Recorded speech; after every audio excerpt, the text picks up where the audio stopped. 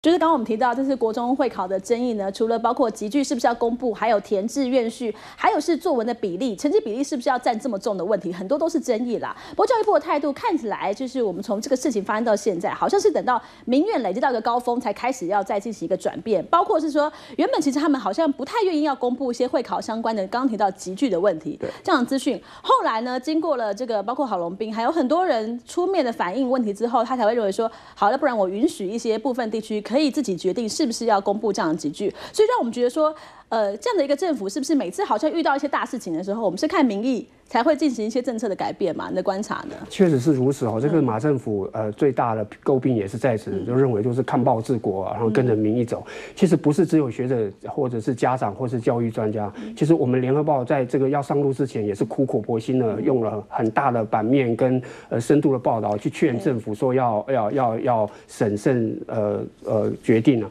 但是还是没有办法，因为我们前面刚刚讲过，这对马总统来讲，这个十二年国教是他一个非常重要。任内非常重要的一个证件，他必须在他呃任期的最后一两年必须兑现。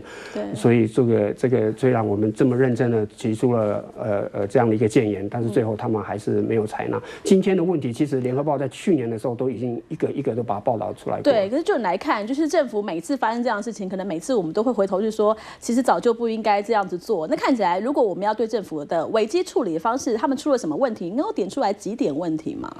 这个问题显然，第一，他事前的沟通不够的充足，他跟呃教育部跟各呃县市的地方首长们在这个配套措施的沟通不够完整。第二个就是呃教育部的本意，他的初衷就是要打破这个所谓的精英主义这样的出发点。老实讲，这是蛮不错的。可是你如果要打破明星学校的名词的话，你教育部应该先做，就是说你要让比如说包括后中后段班的一些公立高中，它的教育资源可以。跟北一女建中或者师大附中是一样的好，但是你这个部分你没有做，然后就又要学生家长说打破迷思，你就选择离你家近的普通高中来念，这这这个这个东西就有点本末倒置的。所以这个就为了要兑现一个政策，然后又没有很足够的财力跟其他的配套措施的话，其结结果就会产生这样的一个乱象。这种乱象其实一点也不令人压抑。对，所以终究还是希望政府能够在施行每项政策之前都可以做好完善的沟通了，对不对？好，今天非常谢。新闻来到现场，我们分析，感谢您。谢谢。